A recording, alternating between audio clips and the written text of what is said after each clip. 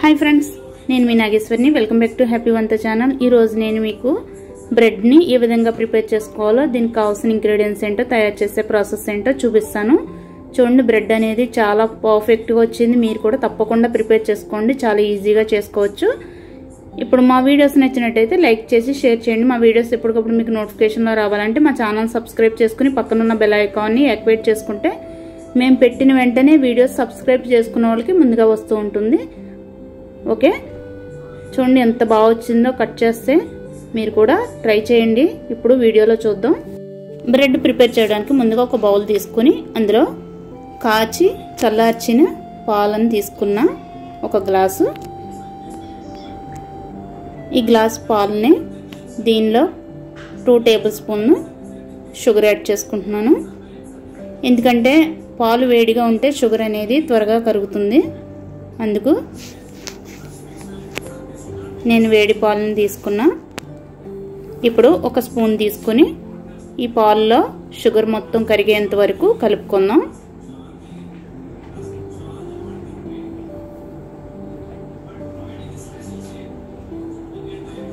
ఇలా కలుపుకుంటూ ఉంటే షుగర్ అనేది మొత్తం కలిసి కరుగుతుంది.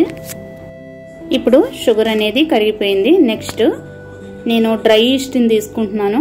ఈ డ్రై ఈస్ట్ అనేది మెయిన్ బ్రెడ్కి మెయిన్ ఇంపార్టెంట్ దీనివల్ల బ్రెడ్ అనేది మనకి స్పాంజీగా వస్తుంది. ఇది నేను హాఫ్ టేబుల్ స్పూన్ తీసుకున్నా. ఇది మొత్తం ఈ పాలల్లో ఇలా కలుపుకొని పక్కన పెట్టుకుందాం.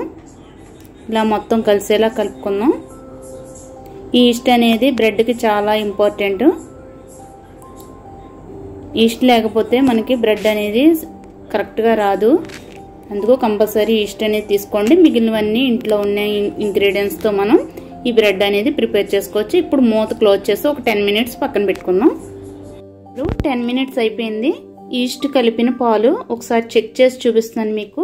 ఒక స్పూన్ పెట్టుకుని చూడండి ఈ విధంగా రెడీ అవుతుంది. దీంట్లో మనం నెక్స్ట్ ఇంగ్రీడియంట్స్ యాడ్ చేసుకుందాం. దీన్ని బాగా కలుపుకుని ఓకే ముందుగా ఈస్ట్ కలిపి టెన్ మినిట్స్ పక్కన పెట్టుకున్న పాలల్లో నేను మైదా తీసుకుంటున్నాను. ఒక్కొక్క కప్పు ఫుల్గా తీసుకుంటున్నాను. ఈ కప్పు అంటే మనకి మినిమం పావు కేజీ ఉండొచ్చు. దీన్ని ఈ పాలల్లో ఇలా కలుపుకొని నెక్స్ట్ ఒక్కొక్కటిగా ఇంగ్రీడియంట్స్ యాడ్ చేసుకుందాం. ముందుగా one tablespoon soda add చేసుకుంటున్నాను. ఈ స్పూన్ అనేది చిన్నది అందుకు వన్ టేబుల్ స్పూన్ యాడ్ చేస్తున్నాను. పెద్ద స్పూన్ అయితే కొంచెం అంటే సగం యాడ్ చేసుకోవచ్చు. ఇప్పుడు నెక్స్ట్ ఇదే స్పూన్తో నేను సోడా బేకింగ్ పౌడర్ కూడా యాడ్ చేసుకుంటున్నాను. ఇప్పుడు మనకి బ్రెడ్ అనేది టేస్ట్గా ఉండడానికి నేను మిల్క్ పౌడర్ని కూడా యాడ్ చేసుకుంటున్నాను. ఈ మిల్క్ పౌడర్ అనేది బ్రెడ్ చాలా టేస్టీగా స్మూత్గా వస్తుంది. అందుకు మిల్క్ పౌడర్ని కూడా యాడ్ చేసుకున్నాను. నెక్స్ట్ ఒక చిటికెడు సాల్ట్ని కూడా యాడ్ చేసుకుంటున్నాను. ఇప్పుడు మొత్తంగా చేతితో కలుపుకుందాం. ఒక చపాతీ ముద్దల దీన్ని ప్రిపేర్ చేసుకుందాం. ఇప్పుడు ఇది కొంచెం గట్టిగా ఉంటే కొంచెం కొంచెంగా పాలు కూడా యాడ్ చేసుకుందాం. ఇది మీరు తప్పకుండా ఇంట్లోనే ప్రిపేర్ చేసుకోండి. చాలా ఈజీగా అయిపోతుంది. కలపడం కూడా చాలా ఈజీ. దీన్ని తయారు చేసే ప్రాసెస్ కూడా చాలా ఈజీ. ఇప్పుడు పాలను యాడ్ చేస్తున్నాను. ఇలా కొంచెం కొంచెంగా యాడ్ చేసుకుని మనకి కన్సిస్టెన్సీలో ఉంటే ఆ విధంగా మనం ఈ పిండిని అనేది ప్రిపేర్ చేసుకుని పక్కన పెట్టుకుందాం.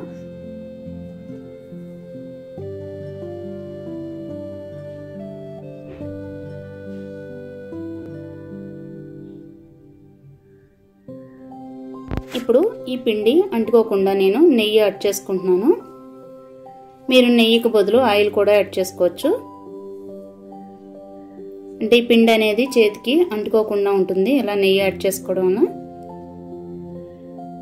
ఇలా మసాజ్ చేసుకొని పిండిని అనేది ఒక మినిమం ఫైవ్ ఫైవ్ సెకండ్స్ అంటే ఫైవ్ సెకండ్స్ టెన్ సెకండ్స్ ఇలా మసాజ్ చేసుకుని ఈ పిండిని అనేది ఈ బౌల్లో పెట్టుకుని అంటే ఒక రౌండ్ బౌల్ లాగా ఒక షేప్ చేసుకొని అందంగా ఇలా ఈ బౌల్లో పెట్టుకొని మినిమం ఒక గంట అయినా దీన్ని మూత క్లోజ్ చేసుకుని ఉంచుకోవాలి. వన్ అవర్ తర్వాత ఇది ఎలా ఉంటుందో మీకు చూపించ చూపిస్తాను. చుండిలా రౌండ్గా చేసుకొని దీన్ని మూత క్లోజ్ చేసుకొని ఒక గంట తర్వాత ఓపెన్ చేద్దాం. ఇప్పుడు వన్ అవర్ అయిపోయింది. దీన్ని ఓపెన్ చేసి చూపిస్తున్నాను. చూడండి డబల్ అయింది. మనం చిన్న బౌల్ పెట్టాం. దాంట్లో డబల్ అయింది పిండి అనేది. ఇందులో ఈస్ట్ వేయడం వల్ల బాగా పొంగింది. దీన్ని ఒక ఫ్లోర్ మెట్ పెట్టుకొని బాగా మసాజ్ చేసుకుందాం దీన్ని పిండిని.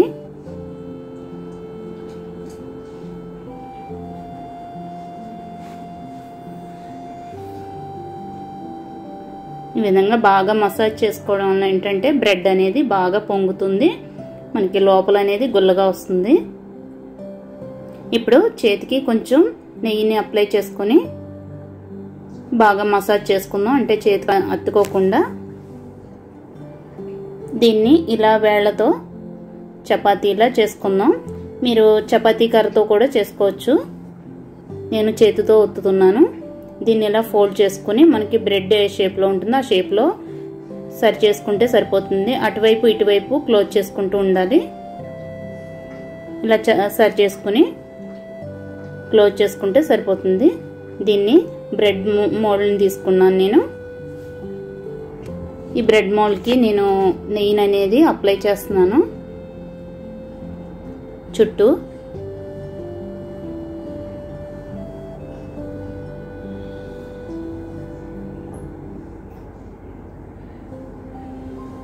ఇప్పుడు ముందుగా మనం ప్రిపేర్ చేసుకున్న ఈ ముద్దని ఇందులో వేసే ముందు కొంచెం మైదా తీసుకొని మనం నెయ్యి అప్లై చేసిన ప్లేస్ అంతా ఈ పిండిని కూడా వేస్తే పిండి మనకి ఈ బ్రెడ్ అనేది మనం కష్టపడి తీయని అవసరం లేకుండా కరెక్ట్గా వచ్చేస్తుంది బయటికి. ఇప్పుడు దీన్ని కరెక్ట్గా అడ్జస్ట్ చేసుకుందాం నాలుగు మూలలు పిండిని.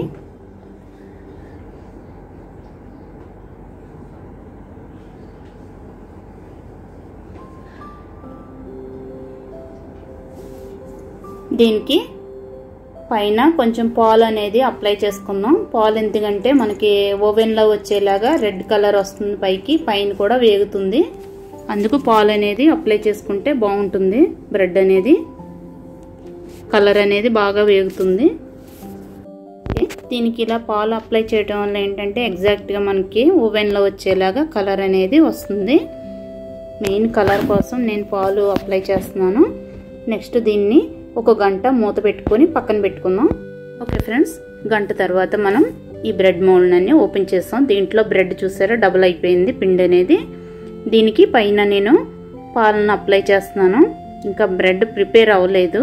పిండి అనేది ప్రిపేర్ అయ్యింది. దాన్ని డబుల్ అయ్యింది మనకి ఈ మోల్డ్లో దీన్ని ఇలా పాలు అప్లై చేయటం వల్ల ఏంటంటే మనకి ఓవెన్లో కలర్ ఎలా వస్తుంది పైన బ్రెడ్ అనేది అదేలా మనం ఇప్పుడు ఓవెన్ లేకుండా ఎలా ప్రిపేర్ చేసుకోవాలో మీకు ఇప్పుడు చూపిస్తాను. ఓకేనా?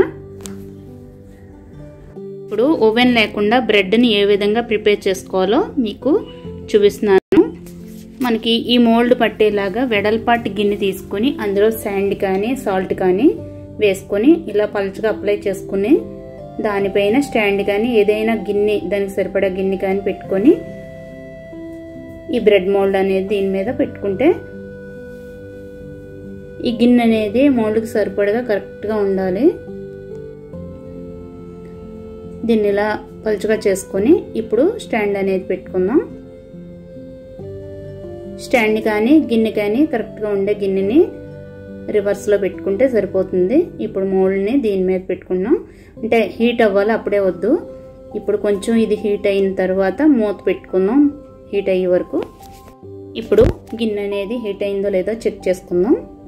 ఇప్పుడు ఇలా హీట్ అయితే సరిపోతుంది. ఇప్పుడు మనం ముందుగా ప్రిపేర్ చేసుకున్న బ్రెడ్ మూడ్ని ఇందులో యాడ్ చేసి పెట్టుకొని ఇప్పుడు మూత క్లోజ్ చేసుకొని మినిమం హాఫ్ అన్ అవర్ దీన్ని క్లోజ్ చేసి లో ఫ్లేమ్లో పెట్టుకుంటే మనకి బ్రెడ్ అనేది రెడీ అయిపోతుంది ఒక్కసారి మీకు మధ్యలో మూత ఓపెన్ చేసి బ్రెడ్ అనేది ఎలా వస్తుందో మీకు చెక్ చేసి చూపిస్తాను చూసారా?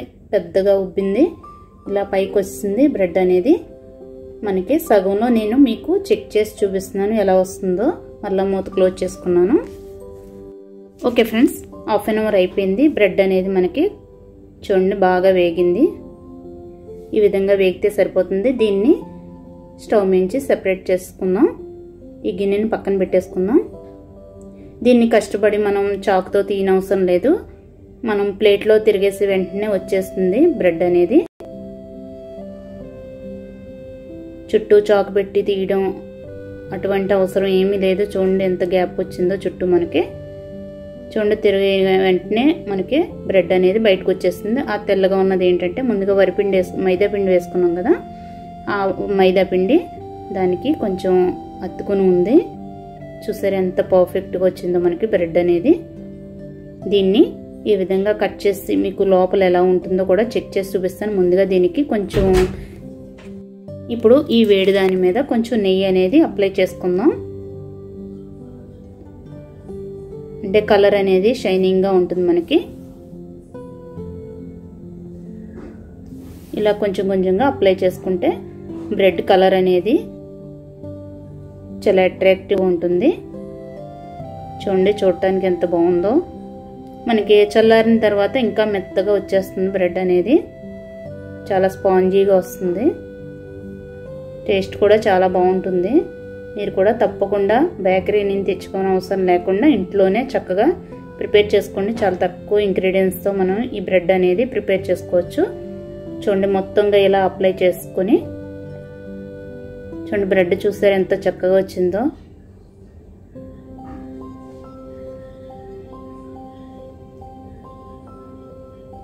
వేడిగా ఉండటం వల్ల కొంచెం గట్టిగా ఉంది. చల్లారిన తర్వాత మళ్ళీ మీకు చూపిస్తాను.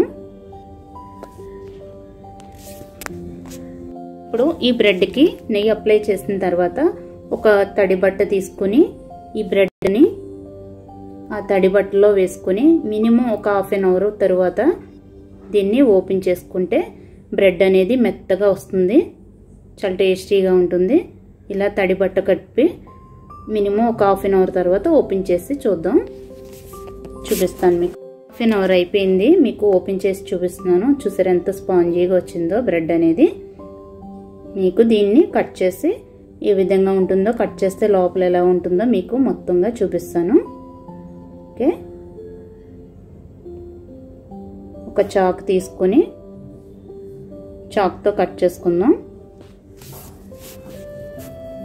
సరే బ్రెడ్ అనేది ఎంత స్పాంజీగా ఉందో మీకు దీన్ని కట్ చేసి చూపిస్తున్నాను. ఏ విధంగా కట్ చేసుకోవాలో ఒక చాక్ తీసుకుని ఇలా కట్ చేసుకుని మనకు కావాల్సిన షేప్లో కట్ చేసుకోవచ్చు. చూసారు ఎంత స్పాంజీగా ఉందో? చూడండి పర్ఫెక్ట్గా వచ్చింది. లోపల చూడండి ఎంత గుల్లగా ఉందో మనకి. ఎంత స్పాంజీగా ఉందో చూసారా? బ్రెడ్ అనేది మీరు కూడా తప్పకుండా ఇలానే ప్రిపేర్ చేసుకోండి. చాలా టేస్టీగా ఉంటుంది బ్రెడ్ అనేది. మనం ఏంటంటే మనకి మంచి హెల్త్కి సంబంధించిన ఇంగ్రీడియంట్స్ని ఎక్కువ యూజ్ చేసాం ఇందులో.